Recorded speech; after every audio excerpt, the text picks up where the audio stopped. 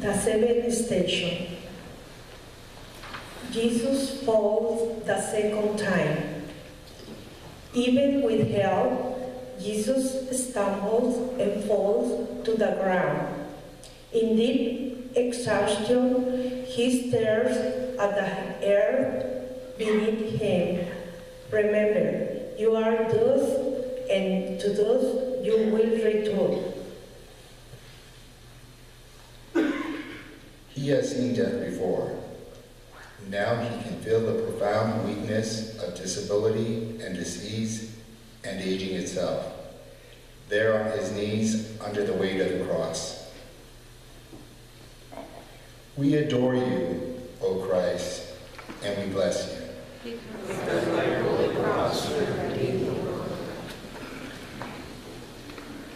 I contemplate Jesus brought very low as I behold him there on the ground with all the agony taking its toll on him.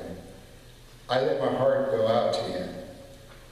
I store up this image in my heart, knowing that I will never feel alone in my suffering or in any diminishment. With this image of Jesus on the ground before me, this is for me, so I express the feelings in my heart.